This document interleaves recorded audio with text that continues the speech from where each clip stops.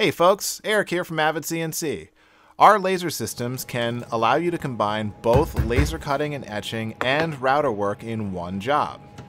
These lasers are compatible with our new EX controller and in this video I'm going to show you how to set up our laser to work with your new EX control and also how to design and create toolpaths for a job like this that combines laser and routing. So stick around and we're going to dive right in and figure it all out. This video is going to assume that you have your laser physically mounted and wired into your new EX control system. If you don't, you can go to avidcnc.com slash support and you can get instructions there to make all of the connections to your new controller.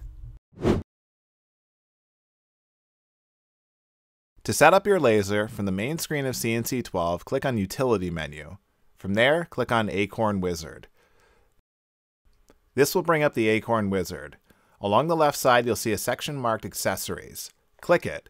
The first option on the top will be Laser. When you select that, the laser setup screen will be shown. The laser setup menu features drop-downs for all of Avid's laser offerings. If you don't see your laser offering here, check our website for a software update. If you do, just pick the laser that you have from the drop-down, and that's all you need to do. All of the settings are applied for you. If you do have a custom laser, you can go ahead and select custom and set the settings here that match the settings that your laser manufacturer calls for. If you'd like, you can select warn before firing laser, and this way you'll get a warning every time the laser fires and you'll have to press cycle start to fire the laser. This can be a nice added safety benefit.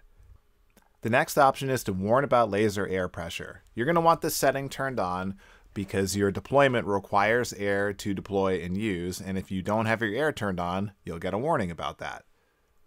The last setting is the laser nozzle Z offset. Some lasers are offered with different nozzle sizes that you can choose from, and it's important to make sure you have the setting right so the Z offset of your laser is applied appropriately. The last setting to take a look at is the laser tool number and XY offset. The laser tool number is the number that is called when your laser deploys. So if you create toolpaths in your CAM software and you want to use the laser, the tool number in your CAM software needs to match this number here. Unless you have a reason to, it's good just to leave it at 99. The XY offset is the distance that the laser sits next to and in front of or behind the spindle, and this can depend on how you have it mounted. Uh, this is set up with an automatic calibration, which we'll go through in the next step. But if you did want to come back and make minor tweaks to that XY offset, you would do that here. Now that we've made all these settings, we can click Write Settings to CNC Control Configuration. It'll process for a moment, and then a message is going to come up and ask you to restart your controller. Make sure you follow the steps and come back and power back on your controller, and we will continue to laser calibration. Calibrating the offset from the tip of the laser to the tip of the tool in your spindle is important because that's what allows seamless switching back and forth between laser and routing. To train this offset, we're going to go into the Utils menu from the main screen in CNC 12, and then we're going to pick option number 5, which is Diode Laser Utilities. Once we hit 5 and press Enter, we'll be taken to this menu where we can pick different calibration utilities. Here we're going to want to calibrate the laser XY offset. That's option number one. So we hit one, press enter, and then cycle start. And this will launch the utility that will help you calibrate the distance between the tip of the laser and the spindle. For best results, it's recommended that you chuck in a V-bit like I'm doing here. Now you're going to get a message that says jog around by hand and make a mark with the tool in the spindle. So here I'm jogging that V-bit slowly and carefully into the spoil board and once it's just touching I'll spin that tip around by hand to dig a little mark into the spoil board. Once I've done that I will press cycle start and the laser will now deploy. You'll then get a warning that the laser is about to fire. Before you press cycle start, make sure your laser control box is armed so that the laser will come on when you press cycle start. After pressing cycle start, you'll see the laser come on and you'll want to carefully guide it into that mark that we just made with the spindle. You may need to lower it in Z a little closer to the work surface to get the laser dot to become finer. Once you have it placed in that mark, press cycle start and the laser offset will be trained. Once those offsets are trained, you can go back and look in the wizard and you can see where they're applied. If you did want to make some fine adjustments to the offsets, you can do that here. Next, we're going to set the height of our laser by using our work surface as a reference. To get this process started, we're going to go to the Utils menu, and then we're going to select 5 for Diode Laser Utilities. And once we're in that menu, we're going to select option 2, which is Calibrate Laser Tool Height.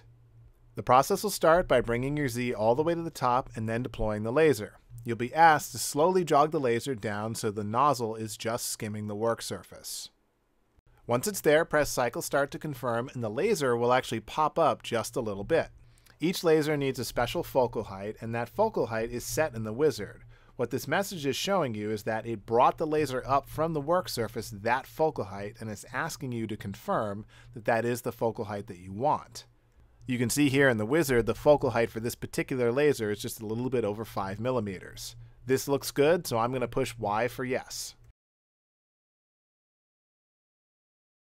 Another feature in the diode laser utilities is the ability to switch back to your previous spindle tool. You can select this option by number 4 in the diode laser utilities and this will retract the laser and switch you back to whatever tool number you were on before using the laser without forcing you to go to the touch plate. This can be nice if you're in between laser jobs and you want to use your spindle to use the touch plate utility to line up your next job. And in that same menu, you can go and you can deploy the laser as well. So again, in the diode laser utilities, select option number three, and that will deploy the laser and switch to the laser tool number for you automatically.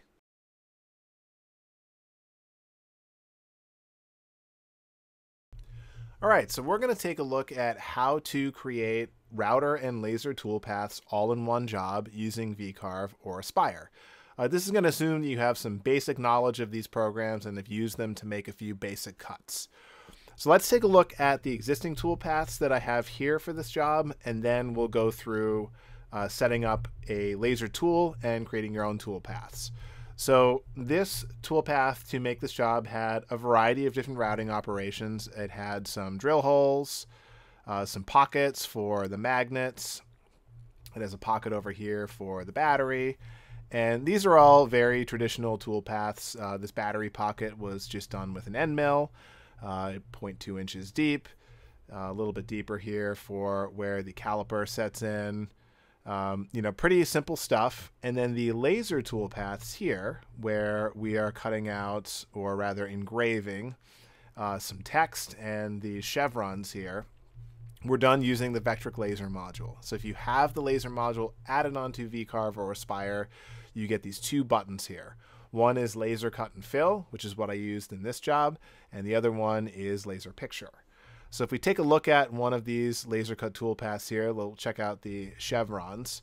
Uh, you can see I did this at power level 20% at 120 inches per minute. I did one pass. I have an overscan setting set, and that means when the laser goes back and forth, it's going to shoot past each chevron a little bit uh, and that just makes the laser burn more consistent and gives the machine time to slow down, uh, turn a corner, speed up, and come back. And I had this thing do a hatch, which is to fill in the chevrons, and I turned it at 45 degrees. That's just what I prefer uh, rather than going left and right. It goes along with the chevrons.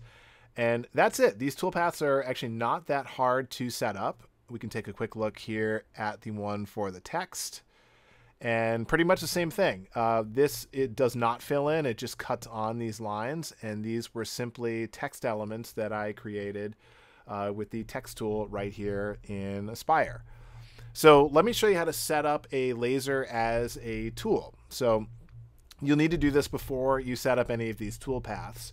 And the way you do that is you go to Tool Paths and Tool Database and this is going to bring up your tool database. And you can see here that I've got several numbered tools uh, that are my regular spindle tools. And I've got one here for my laser cutter. So to make a new one, all you have to do is just hit plus. And for the tool type, uh, pick laser cutter. And we're going to do units inches. We'll say the max power. Uh, let's do our 15 watt laser. So we'll say 15 watts. Um, and we'll go ahead and copy the settings. Uh, the laser kerf I know to be 0.007, so that's okay. Uh, we'll leave number of passes at 1 because you can change that uh, per toolpath. Power level at 100%, that's fine. And the fastest I usually burn with a 15 watt laser is about 150 uh, inches per minute, so we'll change these settings. And the laser tool number uh, is typically left at 99. That is our default laser tool number uh, for our control systems. Um, you would only need to change this away from 99 if you had specifically changed it in the control for some reason. So for most people, uh, leaving this at 99 is just fine. And that's it. Now we have another laser cutter added into our tool database. So to make a tool toolpath, um, it's really simple. So I'll just recreate this chevron toolpath we have down here. And to do that, I just click on the laser cut and fill toolpath. You'll see here at the top, the 15 watt laser is already selected. So I can go ahead and set these power and feed speeds here. I'll go ahead and select the chevrons here and I'll burn these at 20% at 120 uh, inches per minute. That sounds fine. We'll do one pass. If I did more than one pass, that would just do the same tool path twice. So it can give a darker burn. Say you have a, a lower powered laser and you want it to run twice. That's how you would do that. Um, we want it to cut on the path and we want to do a hatch fill. So I'm going to do fill together. So it just fills all of these chevrons at once. And We'll leave it at 45 degrees here. And I would like this to also do an outline, so to go around the outside. And that's it. We can just hit calculate, and there is our toolpath. And when we're done, we can select all of these toolpaths and save them as one job. And what's really nice about this is you can see my drill tool has a tool number, uh, my magnet pocket, all of these different tool paths have a tool number because they are using tools that have numbers assigned to them. And you can see here our laser tool paths have tool number 99 assigned to them. So I can save all of these tool paths to one file and they will run each tool run after the other ask you to insert the tool and when it gets to the laser it will automatically deploy the laser apply that xy offset and do your lasering for you automatically. Um, you don't have to manually apply the XY offset. You don't even need to use a special post processor. You can use the regular built-in post processor uh, in either metric or imperial. Uh, that is for all EX controls. So creating toolpaths, uh, really, really simple here in VCarve and Aspire. Well, thanks everybody for watching, and we hope this helps you get up and running with your new laser on your EX control system. If you have any questions, please go to avidcnc.com slash support. Thanks.